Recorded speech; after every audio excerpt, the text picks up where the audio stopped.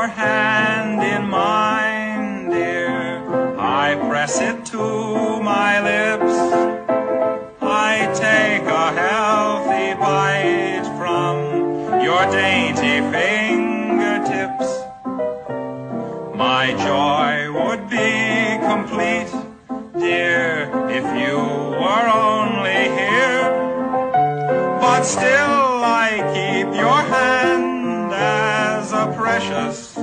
souvenir. The night you died, I cut it off. I really don't know why.